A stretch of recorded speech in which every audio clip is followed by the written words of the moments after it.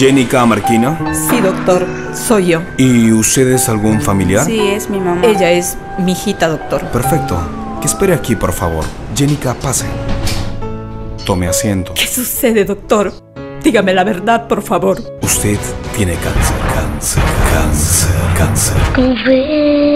Bastaron unos minutos para quebrarme. No me quedaba otra que tomar una rápida decisión de combatir el cáncer sin temor y vencerlo. Tú también puedes prevenir el cáncer.